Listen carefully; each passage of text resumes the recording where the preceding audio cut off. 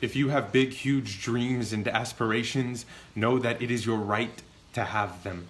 That you have put in lifetimes of energy and love and wisdom and hard work into having these dreams, so do not be swayed. Among all else, do not be swayed. Sit, rest, knowing that it is your right to have these dreams. Not everyone has them, they are yours. Love them, live them fully.